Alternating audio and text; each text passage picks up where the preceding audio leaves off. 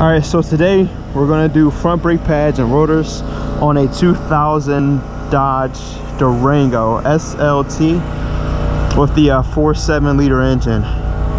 Um, as you can tell she needs the rotors because she waited so long and that's why you got this orange dust around the rim.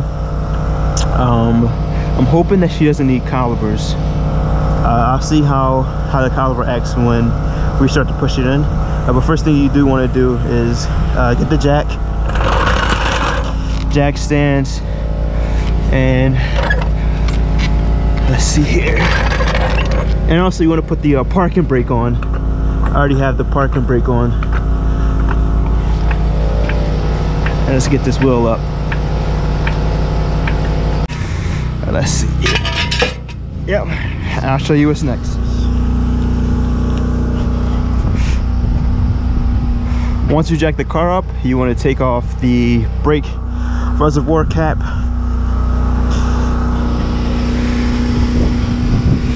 And then we're going to take off the wheels. Well, lug nuts.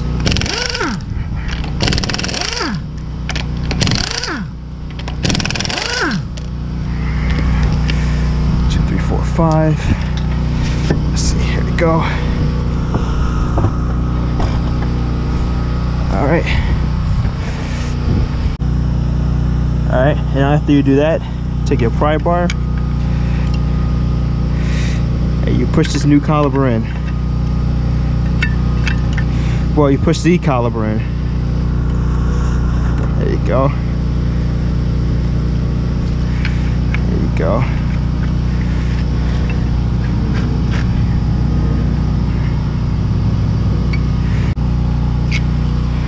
right there you go. Now after you do that you got a hex bolt here and a hex bolt down here. And after that you want to take a seven millimeter hex bit and then we're going to break these two bolts free. There you go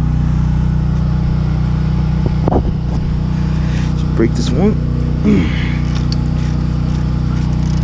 And do the same thing to the top one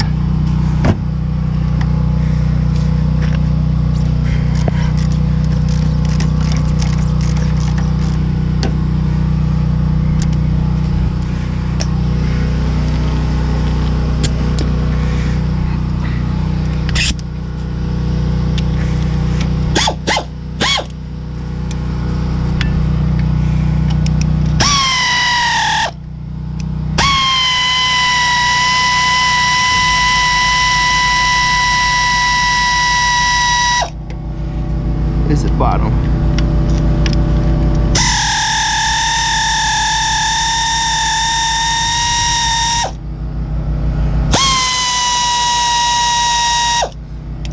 Okay.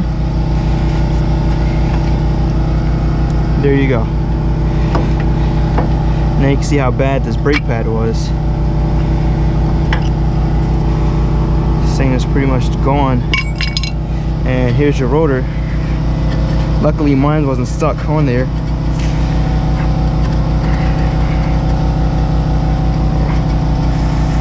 Okay, there we go. Alright, so we're gonna clean this up. Uh, then I'll show you what's next.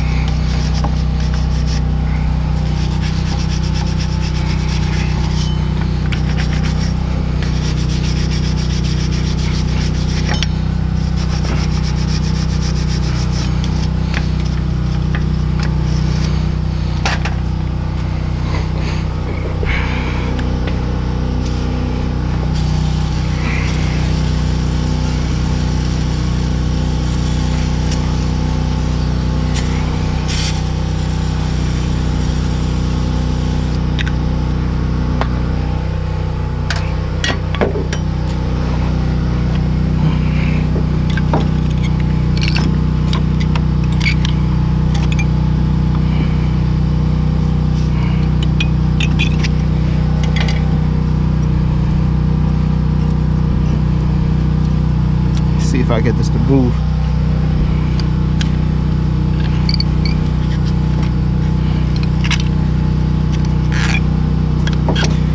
Doesn't really matter, you're not putting these back on anyway.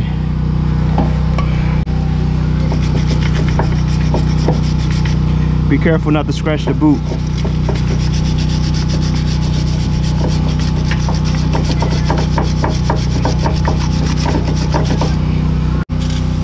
Yeah.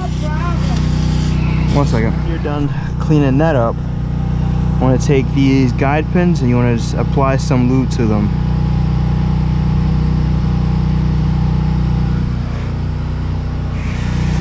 Alright. I'm gonna do the same thing for the top and bottom one.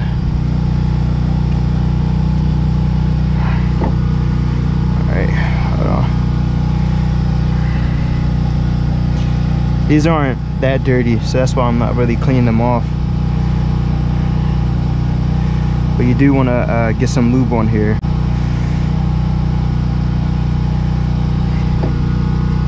Alright.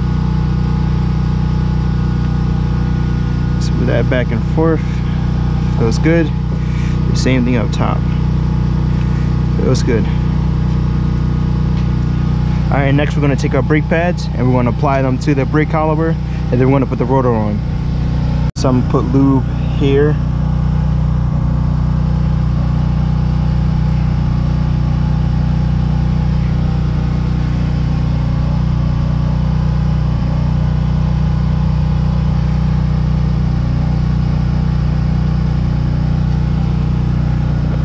inside. There we go.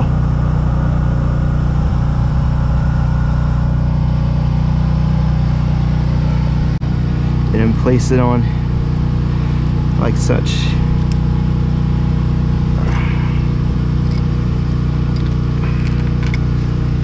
Just push down.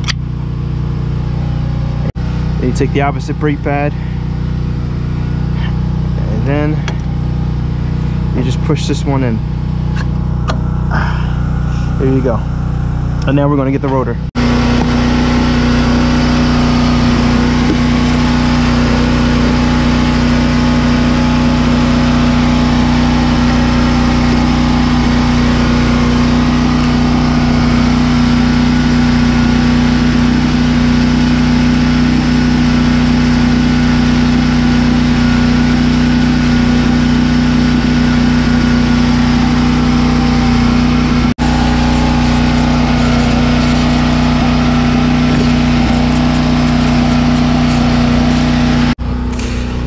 Place your rotor?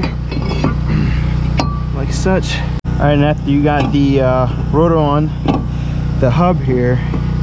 You want to take your brake caliper you want to align it so it slides right on like so.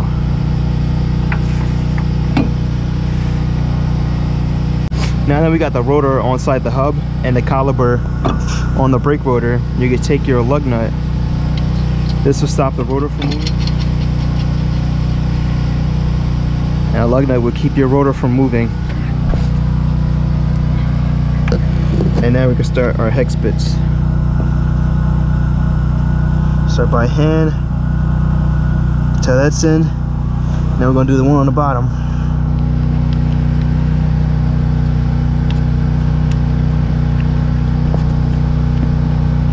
Start by hand that's in. And now we can tighten it up.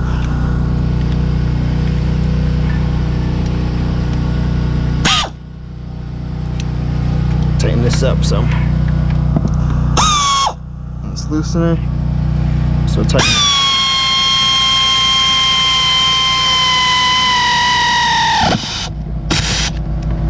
Now do the bottom one.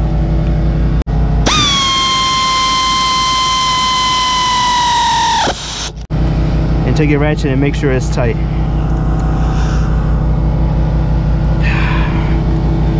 top one.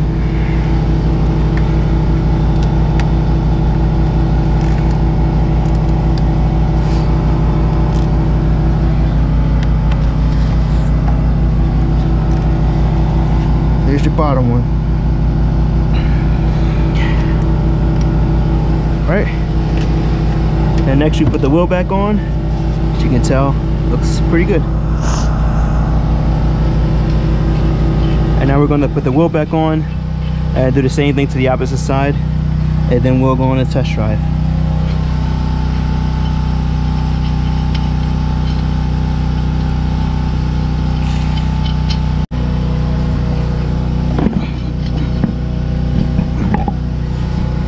There are 19, you want to start by hand.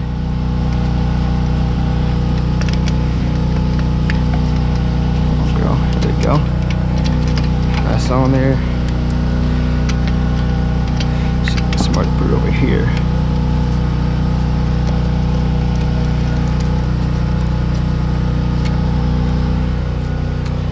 Might be missing one lug nut. I know she was missing one lug nut.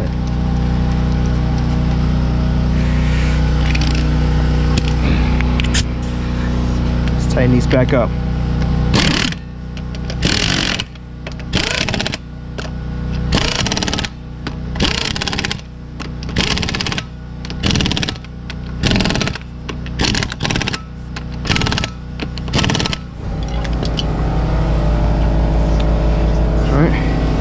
We're gonna do the other side.